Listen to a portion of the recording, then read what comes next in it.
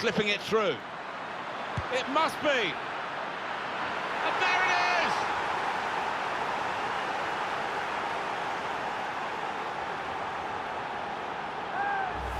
He scored with a chip of a very tasty variety. So difficult. With the ball running away from you, it's so easy to get that one wrong.